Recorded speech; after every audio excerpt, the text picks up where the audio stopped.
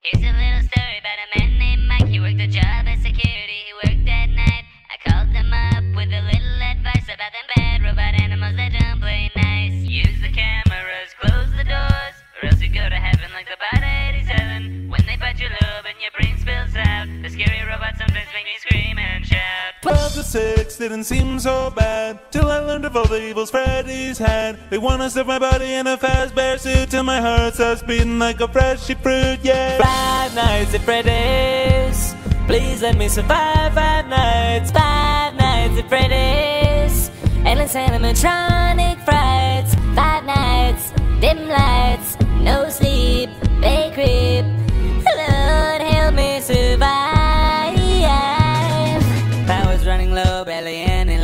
as my heart starts pounding up against my chest. Should I close the door? Is it right outside? If I run out of power, I'll have nowhere else to hide. Need this job, that's why I came back Even though it's dangerous, the pay is whack Why, oh why did I not bring a gun? Maybe if I had, it would be fun Five nights at Freddy's.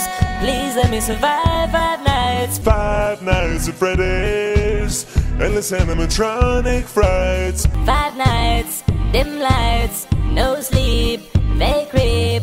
Lord help me survive. Five nights.